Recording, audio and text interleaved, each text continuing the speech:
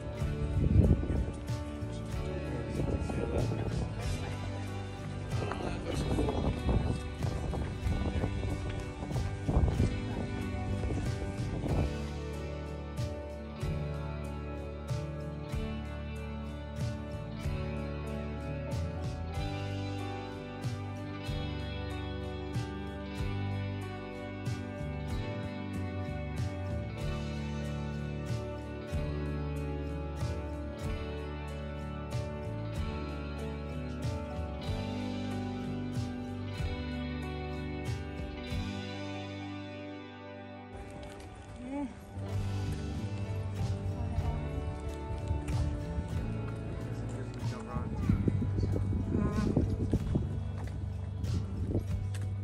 We're going there to the presidential trail. Oh, there's a cave.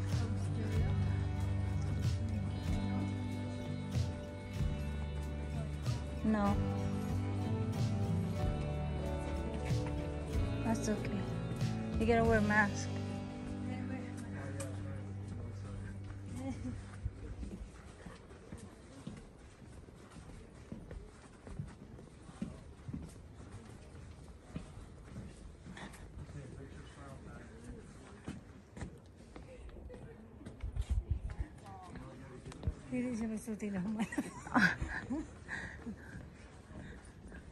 Let's go over here. Oh, Carl turned around. Let's go over here. They're over here.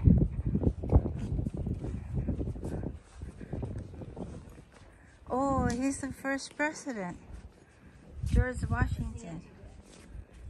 Yeah.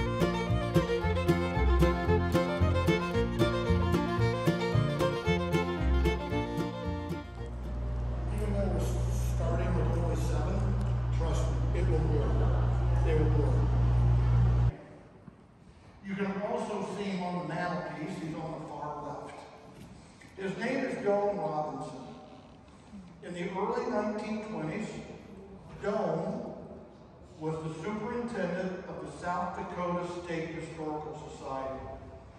Doane loved South Dakota, thought it was a wonderful place. And he wanted to help the state. He wanted to bring money and jobs and people to South Dakota. So he thought, how can I do that in the type of profession that I am in?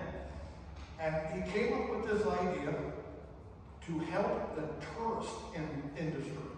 Let's get more people to visit South Dakota. And Doane's idea was not to come to Mount Rushmore, but actually go south of here into the area known as the Needles. This is down in Custer State Park along the very famous Needles Highway. Well, what Doane wants to do to these needles is he wants to carve them into statues of Western folk heroes. Lewis and Clark, Sacagawea, Chief Red Cloud, Buffalo Bill, Charles Fremont, so on and so on. So on. And then people from around the world would come to the Black Hills to see these interesting statues. Well, his idea was received with mixed reviews, some people loving it, some people hating it. So he thought, if I want my dream to come true, I'm going to need help. So he contacts those other three men on the mantle. The two men in the middle are politicians from South Dakota. The one next to Doane is a U.S. Senator. The one next to the Senator is U.S. House of Representatives. The man on the very end, opposite of Doane, is a businessman out of Rapid City. So these individuals, now there are others involved, it's not these four guys by themselves, but they're the leaders of all this.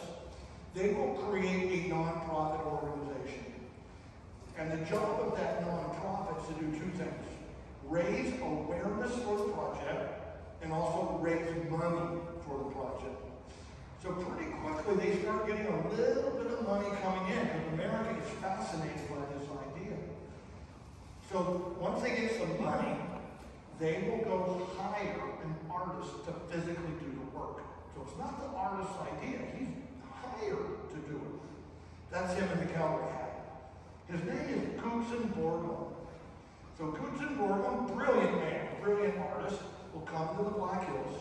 He'll go down into the needles. He'll take a look at those needles, and he reports back to the nonprofit organization, you know, this isn't going to work. Those needles are too old, or too fragile, or too weathered. This isn't